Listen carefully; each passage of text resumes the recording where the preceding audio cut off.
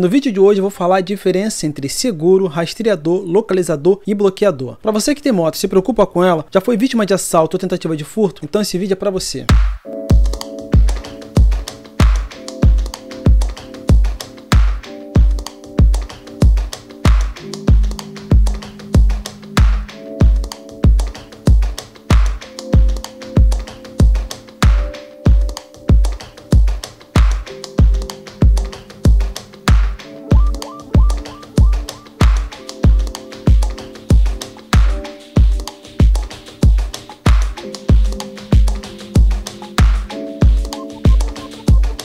Olá pessoal, tudo bem? Meu nome é Eduardo, sejam bem-vindos ao canal Brasil em Duas Rodas.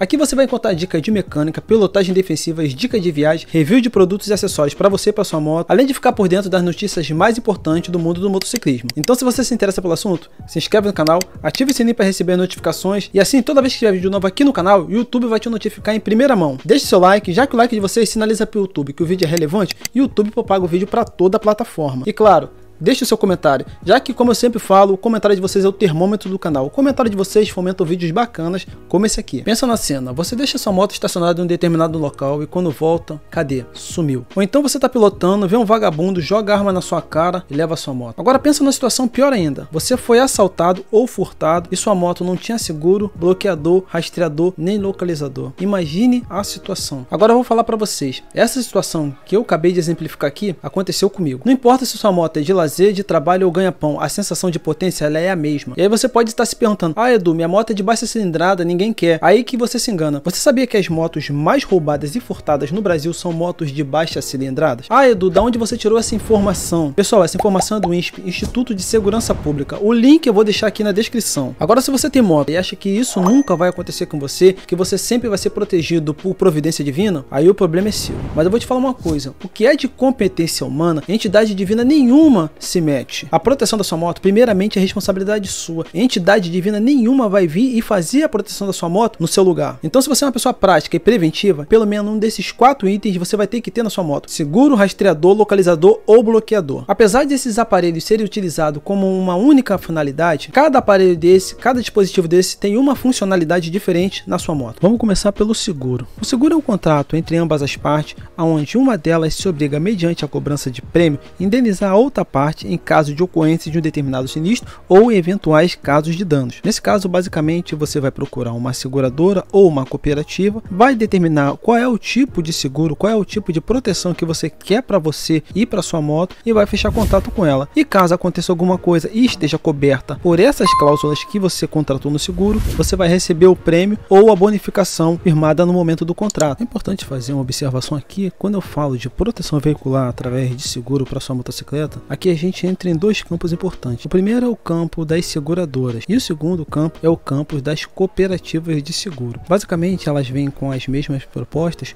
com situações e condições diferentes. Eu não vou entrar especificamente nessa questão sobre seguradoras e cooperativas. Se vocês quiserem saber um pouco mais a diferença entre seguradoras e cooperativas, deixa aqui nos comentários que eu faço um vídeo explicando detalhadamente, mostrando os prós e contras de cada uma delas e por que você deve optar por uma e não por outra. O segundo item de proteção para sua moto é o rastreador. Sem dúvida, ele é o mais sofisticado de todos os equipamentos. Ele possui uma solução completa que mostra para você dono da motocicleta, precisamente aonde a sua motocicleta está, além de todo o trajeto percorrido por ela. Isso ajuda muito em casos de roubo ou furto, porque você pode acompanhar constantemente os sinais de localização. Além disso, o rastreador possui receptores GPS acoplado a um modem dentro do aparelho que ajuda a transmitir perímetro a perímetro aonde sua motocicleta está. Sem dúvida, esse é o melhor equipamento que você pode ter para sua moto. Eu tenho na minha motocicleta e recomendo. E o próximo item da nossa lista é o localizador. Um pouco mais avançado do que o bloqueador, o localizador, como o próprio nome já diz, tem como premissa informar a localização da sua motocicleta. Os tipos de localizadores que costumam utilizar sistema via GPS são mais precisos e recomendados,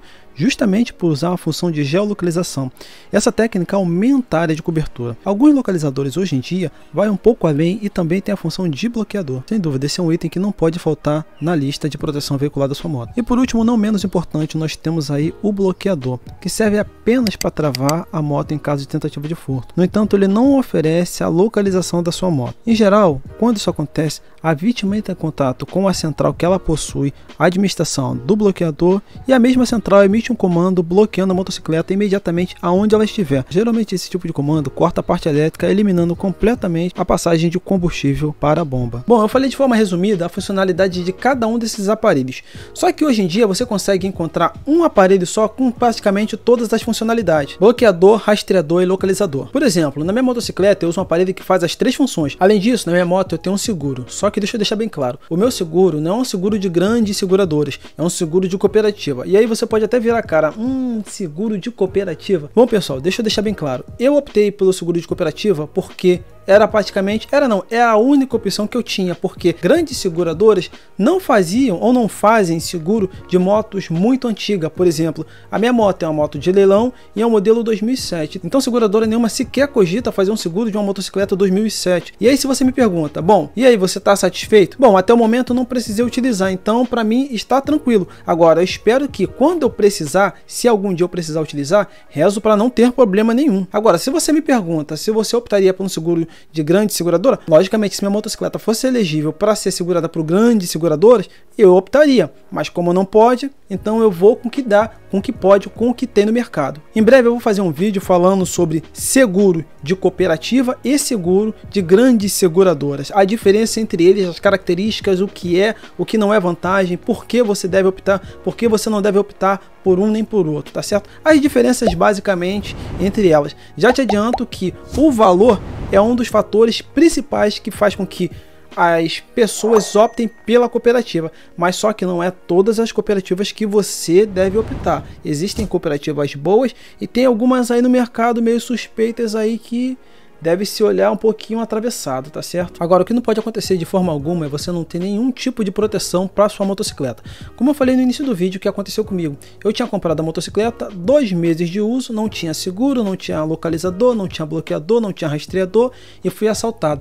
Levaram a motocicleta e até hoje estou chupando o dedo a ver navios. Então, não importa se sua motocicleta é de trabalho, de viagem ou final de semana, é importante ter algum tipo de proteção para ela. Existem várias empresas no mercado oferecendo seguros de vários tipos de vários modelos para vários bolsos. Existem diversos aparelhos que pode também te ajudar nesse sistema de proteção da sua motocicleta. Então vale a pena você parar um pouquinho, pesquisar e ver qual o melhor custo-benefício que é oferecido no mercado para você, para o seu bolso e para sua moto. Bom pessoal, esse foi mais um vídeo resumidaço para o canal Brasil Duas Rodas. Se vocês quiserem saber um pouquinho mais detalhadamente cada uma dessas tecnologias, deixa nos comentários que eu faço um vídeo bacana explicando cada uma delas. O link sobre roubos e furtos de motocicleta eu vou deixar aqui na descrição do vídeo, tá? Que é do Instituto de Segurança Pública. Então já se inscreve no canal, deixa seu like, ative o sininho para receber notificações e claro, deixe o seu comentário, como eu sempre falo, o comentário de vocês é o termômetro do canal. O comentário de vocês fomenta vídeos bacanas como esse aqui. Até o próximo vídeo, fiquem todos com Deus e tchau!